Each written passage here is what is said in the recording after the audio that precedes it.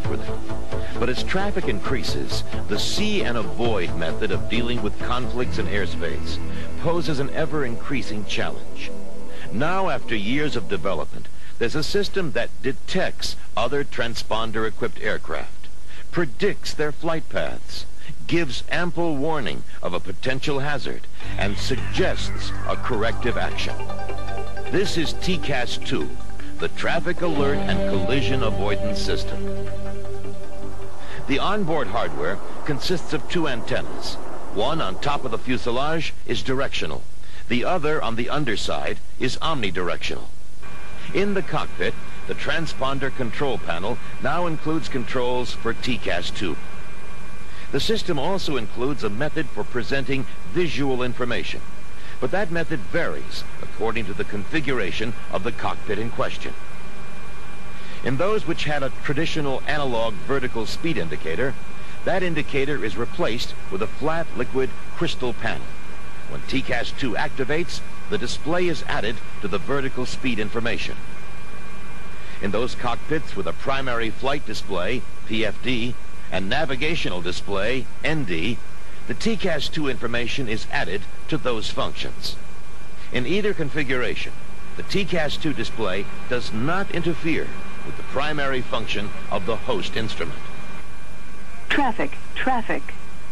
A speaker system provides audible enunciations to reinforce the visuals. Now some details about how the hardware works as a system. It first establishes a three-dimension collision area around your aircraft. The size varies with altitude. It's important to understand that TCAS-2 protects against more than just an encounter with your actual aircraft. Rather, it protects this collision area from penetration by other aircraft. To do this, it scans the surrounding airspace once each second, interrogating for other transponder-equipped aircraft. When it receives a response, it uses the telemetry data in a mathematic formula of range over range rate commonly called tau, to predict the flight path of the other aircraft. If it determines that aircraft will indeed enter your collision area, the system adds a caution area and a warning area, and then calculates a new size and shape. That's because it looks at the time to a potential penetration of the collision area, not the distance. Therefore, as the geometry and closing speed of the two aircraft changes, so does the protection. The perimeter of the caution area is 40 to 45 seconds from the time TCAS-2 calculates the intruder would penetrate the collision area. The perimeter of the warning area is 20 to 25 seconds away. The five-second variance is caused by other factors the system is also calculating.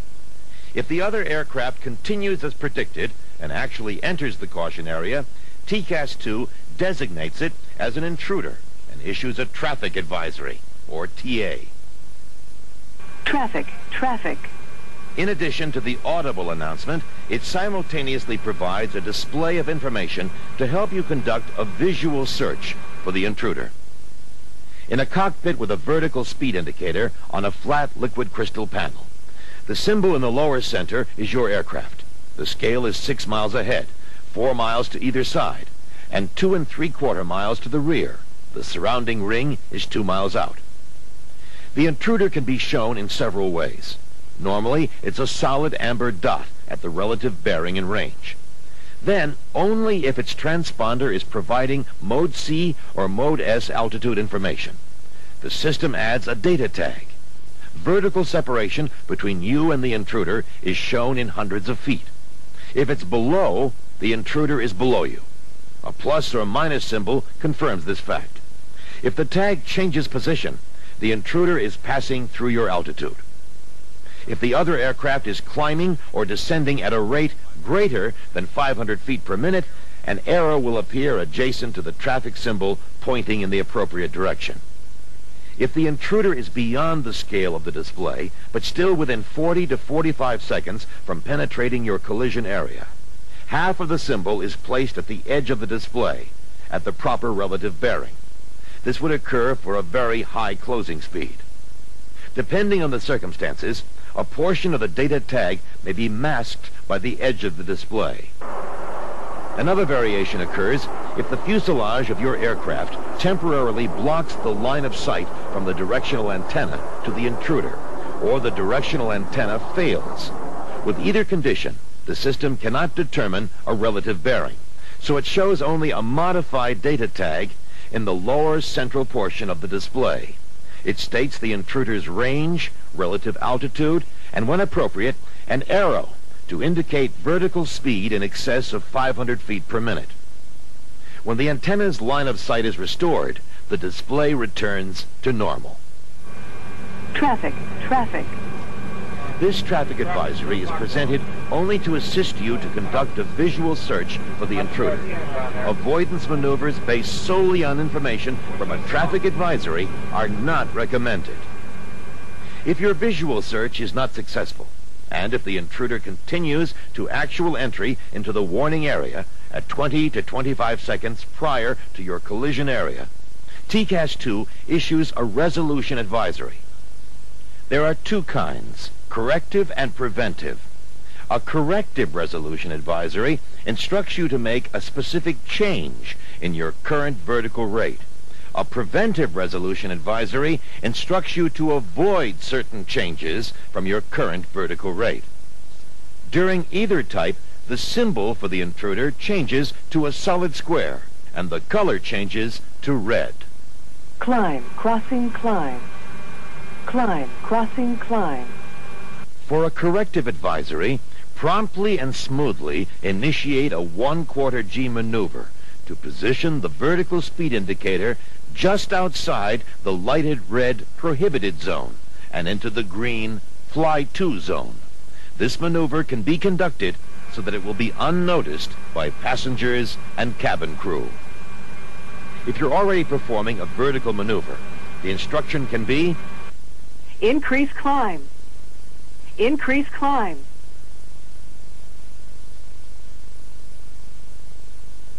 Reduce climb. Reduce climb.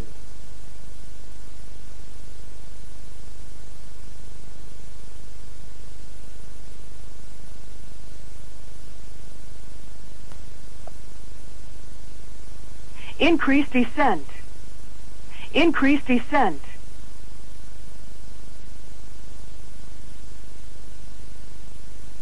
Reduce descent. Reduce descent.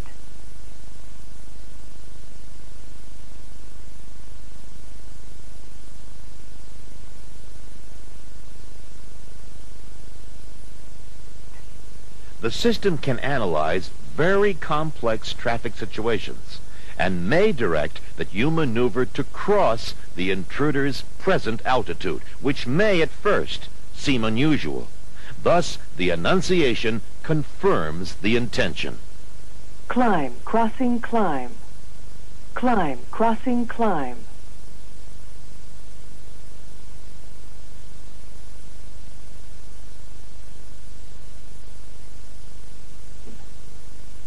Descend, crossing, descend. Descend, crossing, descend.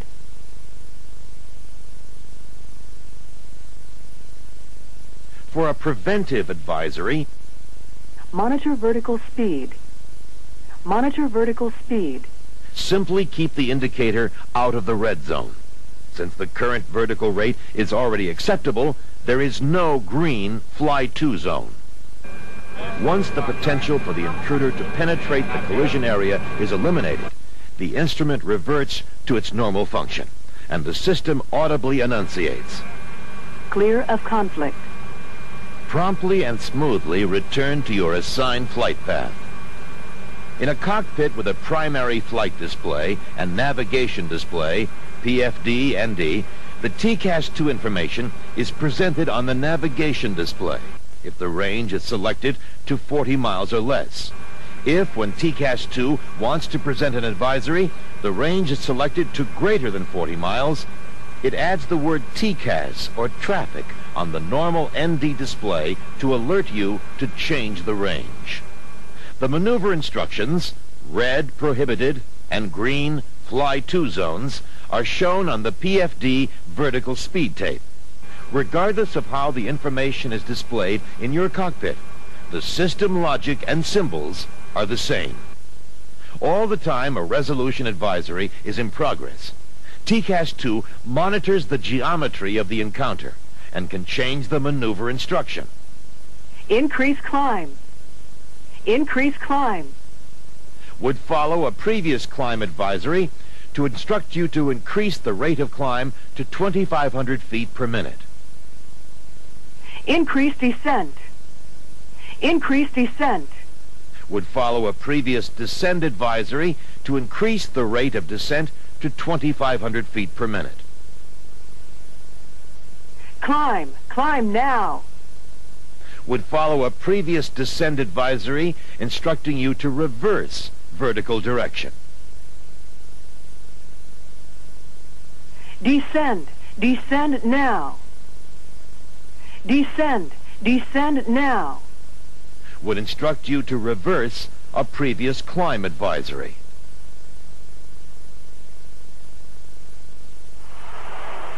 Now observe a typical operation. While cruising at 5,000 feet, TCAS-2 designates an intruder and issues a traffic advisory. Traffic. Traffic. The pilot flying observes the display and begins a visual search. The pilot not flying also observes the display and audibly confirms the range, bearing, and altitude of the intruder, then joins the visual search the search is not successful, and TCAS-2 issues a resolution advisory. Climb. Climb. Climb.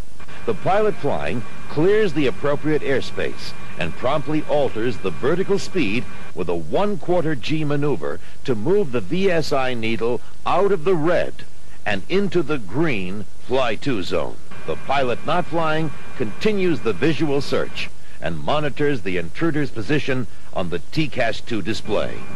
He also verifies that the pilot flying is correctly following the resolution advisory. The maneuver eliminates the potential for an encounter. Clear of conflict. The display reverts to its normal function, and the pilot flying promptly returns the aircraft to the previously assigned flight profile. Now that you're familiar with the basic operation, here are some additional features and some general information. During either a traffic advisory or resolution advisory, TCAS-2 displays the intruder, but also shows additional traffic to increase your situational awareness, should you need to maneuver your aircraft. Any aircraft that is within six miles horizontally and within plus or minus 1,200 feet vertically is designated as proximate traffic and is shown along with the intruder as a filled cyan or blue diamond and data tag. Also, if the traffic switch on the control panel is selected to on, additional aircraft within range of the display and plus or minus 2,700 feet vertically is designated as other traffic and is shown as an open cyan or blue diamond and data tag. If the system is tracking multiple aircraft during an encounter, it displays only the intruder and those designated as proximate traffic. At altitudes less than 500 feet AGL, the system does not provide resolution advisories. It can and will provide traffic advisories. You can also use the system to learn what traffic is in the vicinity when there is not a threat of an encounter. Place the traffic switch in the on position, and the display shows all transponder-equipped aircraft within the scale and plus or minus 2,700 feet vertically. Experience to date shows that a resolution advisory occurs only once every 40 to 50 hours of flight. Traffic advisories occur more frequently. The deviations from your intended vertical flight path, which are required to resolve an encounter, are relatively small, typically between 200 and 500 feet.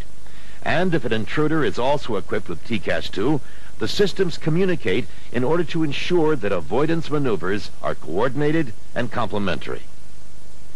Use of TCAS-2 is governed by the following limitations contained in the approved flight manual. It's approved for use in IMC and VMC.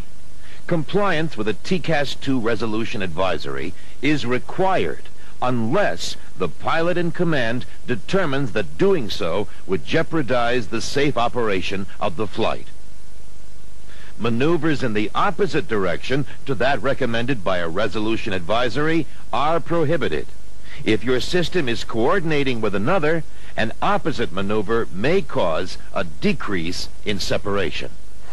Other points to remember not covered in the AFM include when preparing to follow a resolution advisory, use every available means to clear the airspace into which you're going to maneuver. It's not mandatory that you contact ATC after complying with a resolution advisory. However, if time and workload permit, and if deemed appropriate by the pilot in command, advise the controller that it occurred.